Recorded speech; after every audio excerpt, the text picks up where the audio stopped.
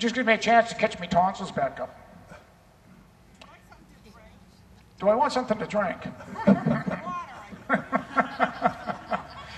Hey, sure, the water's never touched these lips. Oh, you're a good crew. Okay, let's see. Let me go with Patty and Mike again. Patty and Mike. This time, they're working on a road project. You know, you're fixing up the pavement and stuff in front of a grand building, something like this, right? And they're working. But you know what the building is? Does anybody know what a house of ill repute is? Are you giggling up here? Benedicta's got one. oh, boy, it is a lively place. Well, anyway, it's a house of ill repute, and they're fixing the roads out front of it.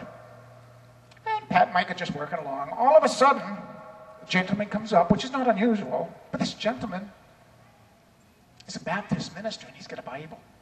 He looks at the two fellows, nods his head, puts the Bible in his coat, and goes in. Pat looks at Mike. He says, Did you see that, Mike?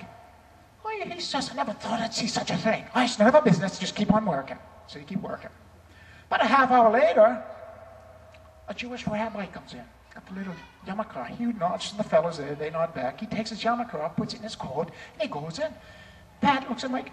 Mike, did you see that? He says, I saw it. He said, I'd never believe it if I saw it. Didn't see it.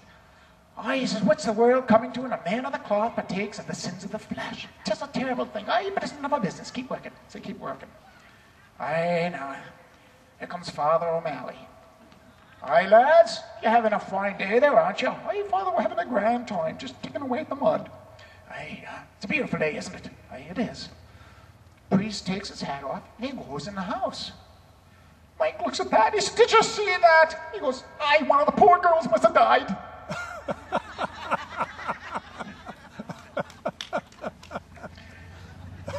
uh, just don't tell that to Father Joel.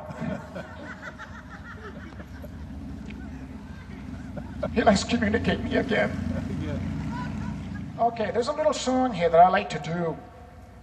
In Ireland, they like to play with the music sometimes. They have fun with it, particularly when everybody has not been drinking water. and they're in that lubricated mode. And what you do is you take a song and you take and chuck a word out. And the duty of the people is to figure out what the missing word is. It's a simple thing, folks. We keep, you know why we keep it simple? In case an Englishman walks into the pub, so they can handle it. Okay? The song is called The Fly. Now, we're going to substitute, set up a word, you going to substitute Sean? Oh, Sean likes the shh sound, you know, like being quiet, shh, because he does, get, he gets that a lot. Shh. Okay, so we're going to substitute the sh sound for a word.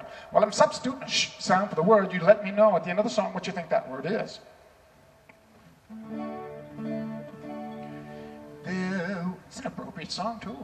There was a little fly, he flew into the store. He shh on the ceiling and he shh on the floor. He shh on the bacon and he shh on the ham. He shh on the head of the little grocery man. Aye, that table I told you, hold back the drinks, they're way ahead of the rest. The little grocery man got his little spray gun. He said he'd catch the fly before the day was done. But before he could count from one to ten, the fly went shh on his baldy head again. Now, if you want to join into that chorus too, that's a fine thing to do. I love it when you join in your chorus. Just try to get your shh in the right place.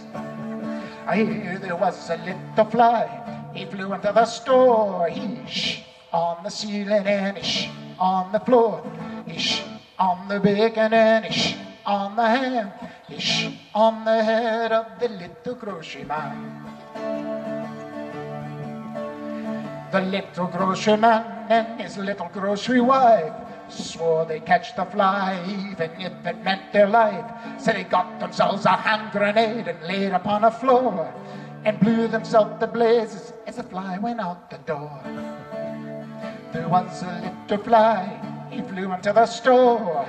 Shh on the ceiling and shh on the floor. Shh on the bacon and shh on the ham. Shh on the head of the little grocery man. Now they both went up to heaven, and angels they were made. Saint Peter said to them, Hey, folks, you'll be repaid. So he got his angel's wings, and he flew up in the sky. He swooped down like a bomber, and he shot on the fly. there was a little fly. He flew onto the store. He shot on the ceiling, and he shot on the floor. He shot on the bacon, and he shot on the ham. He shot on the head of the little grocery man. Hear there was a little fly. He flew into the store. He shot on the ceiling and on the floor. Shot on the bacon and shot on the ham and shot on the head of the little grocery man.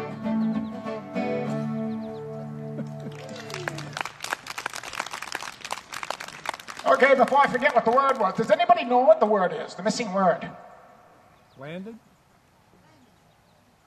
Aye, it's landed. You've got the clean crew up here. Aye, some of them come up with some wicked bad stuff.